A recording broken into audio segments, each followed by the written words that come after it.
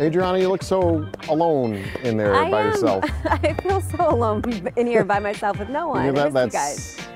that's Celine Dion song, All by Myself. You know that one? I'll All right, spare let's you not lose singing it. by Uh, singing. Yeah, right. Uh, it's time for the Talker this morning. We are back, but it is Talker Bucks edition. This morning, we're of course live from the floor here at Fiserv Forum ahead of the Bucks opener tomorrow night. yeah, and if you missed their season opener last night, they won the game. But after the game, Bucks star Giannis got a little distracted when he saw himself up on the big screen. Let's check it out.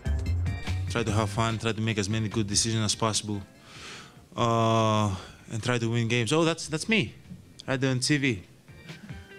Wait, I haven't. Wait, let me see this. That's my guy. That's my guy, Simu. He's uh. He played uh, the role in Shang-Chi. Ah, they cut that part, huh? He doesn't even go to the part with me and Joel playing one-on-one. There's another commercial. Uh, that was a fun experience. What was your question again?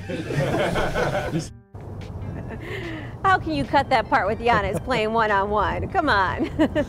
Yeah, and well, you know, he got to play last night with Joel. Um, and you know, I thought was pretty funny about that soundbite. It was exactly 34 seconds, which is, of course, Giannis's Oh, number. yeah. Um, you know, it just kind of shows the guy he is, right? I mean, he is so real, and it's such a normal guy, despite the fact that he's a superstar and what he does here on this court. Yeah, and I think that's what just makes him so likable. And Tom, I have a feeling, you know, with those new TM, switching on over to TMJ4, with those new commercials, is that how you are every time you see your, that commercial pop up? Hey, that's me, Oh yeah, everything stops. Look at that right there. When I drive by the billboard, same thing, just stop. Uh, Brendan, I know that you are, uh, you know, new to Milwaukee here, but I think Giannis kind of goes beyond uh, here in Milwaukee, across the state when you're in Madison as well.